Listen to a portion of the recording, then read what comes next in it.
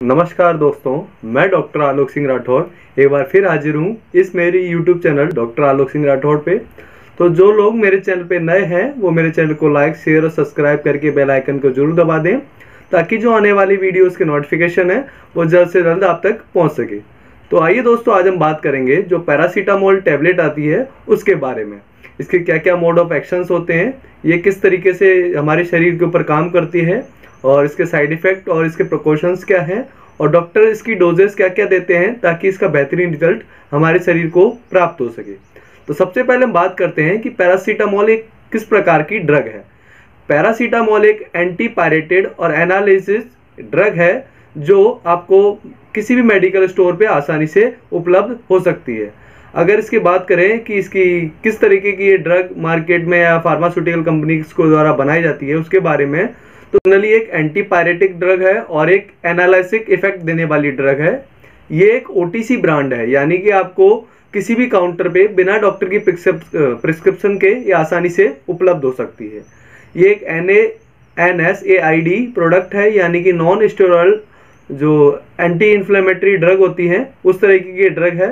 W H O की जो list है, उसमें मोस्ट कॉमनली यूज़ टैबलेट के रूप में पैरासीटामोल सबसे नंबर वन बनी हुई है। अब बात करते हैं इसे कब कब देते हैं। इसका जनरली जो उपयोग किया जाता है, वो है फीवर में। किसी प्रकार का जो हमारी बॉडी के अंदर जो टेम्परेचर बढ़ गया है, उस दौरान पैरासीटामोल ज़्यादातर डॉक्टर देने की सलाह देते हैं।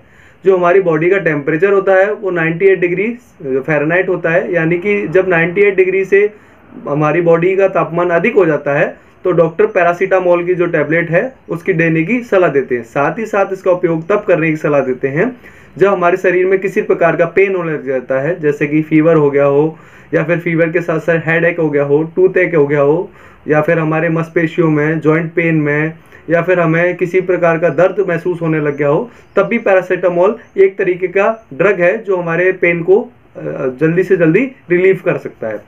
अब बात करते हैं इसके जो डोजेज हैं, उसके बारे में। तो जनरली जो इसके डोजेज देखे गए हैं, वो है 10 से 15 एम पर केजी के हिसाब से। यानी कि अगर कोई 10 किलो का बच्चा है, उसको 100 एम टैबलेट दिन में तीन बार डॉक्टर की सलाह परामर्श के बाद, खाना खाने के बाद देने की डॉक्टर सलाह देते हैं। अब दोस्तों हम बात करेंगे कि इसके प्रिकॉशंस वगैरह क्या क्या होते हैं, यानी कि इसको कब कब लेना चाहिए और या फिर जब लेना चाहिए तो उसके साथ क्या क्या प्रिकॉशंस हमें देखने चाहिए। प्रिकॉशंस की बात करें तो जो लीवर और किडनी डिज़ीज़ वाले पेशेंट हैं, उनको डॉक्टर बहुत निगरानी के दौरान इस टैबलेट का उपयोग करने की सलाह देते हैं ताकि उनके लीवर पे और किडनी पे किसी प्रकार का साइड इफ़ेक्ट और कोई भी समस्या ना हो।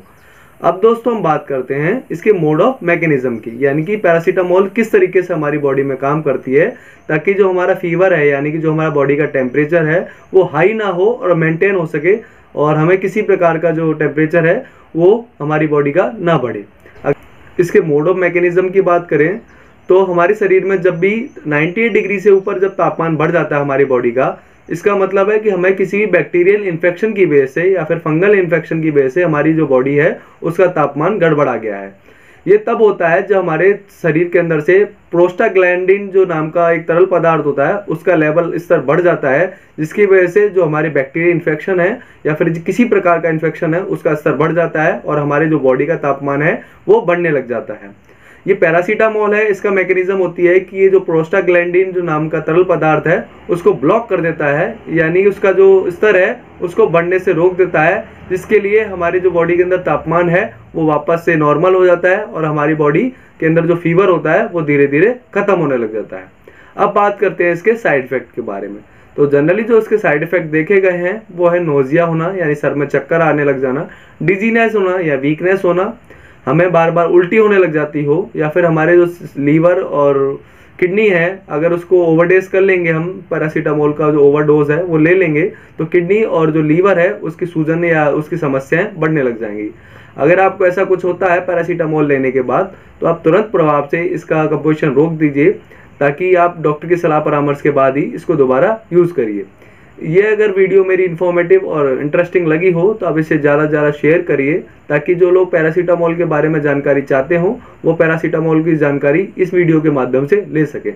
इस वीडियो को अंत तक देखने के लिए आपका बहुत बहुत धन्यवाद। Thank you